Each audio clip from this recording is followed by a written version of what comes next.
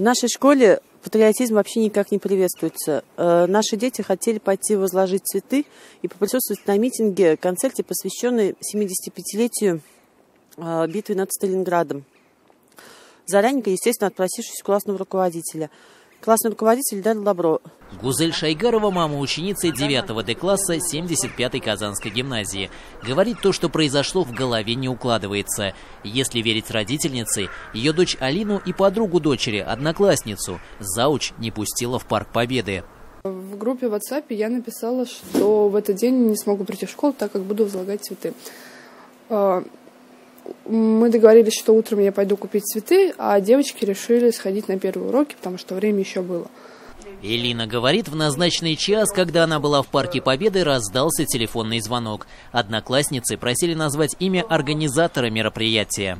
В трубку я слышу то, что наш завуч их не отпускает и сравнивает это мероприятие с митингами Навального, с сектами какими-то. Позже мне девочки рассказали, что держала их очень долго. То есть он говорит, нет, вы должны ходить на уроки, мне нужна специальная справка. Отчитала их по полной программе, сказала, вы никуда не пойдете. Естественно, ни на уроках толком дети поприсутствовать не смогли, получить знания, ни поприсутствовать на митинге. Едем в школу, нас встречает директор. Во время учебного процесса у нас дети не могут уходить самостоятельно, и поэтому девочки не были отпущены. На все мероприятия мы ходим только под руководством взрослых. Это тщательно планируется. В обязательном порядке издается приказ на выход, потому что ответственность за жизнь и здоровье несет педагог. Решения принимали исключительно в соответствии с законом, говорит директор. Классный руководитель была не в курсе намерений учащихся и не отпускала их с уроков, чтобы они пошли куда-то самостоятельно. Лариса Помыкалова уточняет, педагог и зауч, это заместитель директора по воспитательной работе, пояснили, что митингов может быть много и разных.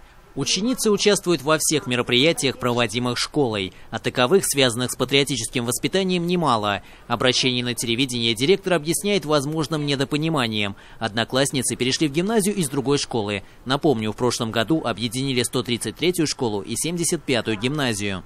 Конечно, очень хотелось бы, э, чтобы вот этих трений не было.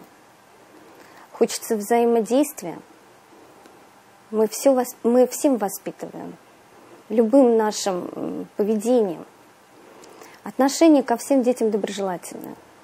Сигнала от родителей в Министерство образования не поступало, отмечает Лариса Сулима, и констатирует, в Татарстане ведется большая планомерная работа в рамках патриотического воспитания.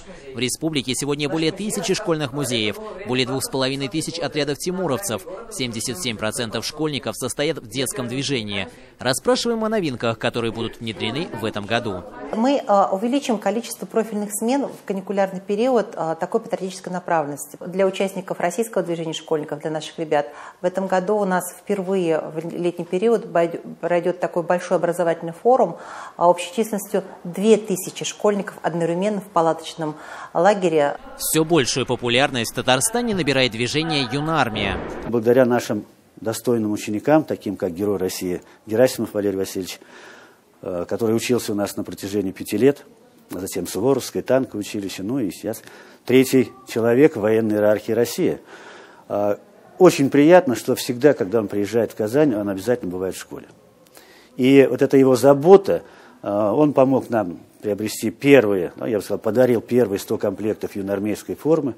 Ученики 94-й Казанской гимназии первыми в Казани в 2016 году приняли клятву юноармейцев. Сегодня только в школьном отряде 86 мальчишек и девчонок. 60 заявлений находятся на рассмотрении. Мы остаемся